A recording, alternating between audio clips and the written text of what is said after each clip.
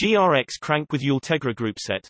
I currently ride a full Ultegra Die 2 setup with 50 34 chainrings and 11 30 seconds 11 SP rear cassette. I would like to run the GRX 46 30 chainrings because 50 11 gearing is a waste for me. I could either stay with the 11 30 seconds and get a lower gear or move to 11 28 and get tighter spacing.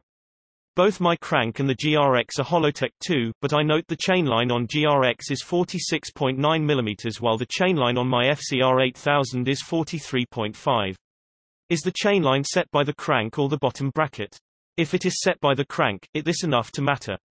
Will a GRX crank work on the bottom bracket I have? It's set by the crank, and is like this because GRX is targeted at 135 mm, 142 mm rear ends. GRX takes the same BB as any HT2 road crank. It's enough to matter, but chainstay length is the other piece of how much it matters. Doing this kind of thing on super short chainstay bikes can yield pretty compromised results in terms of number of rough combinations, and at the other extreme may not be such a big deal.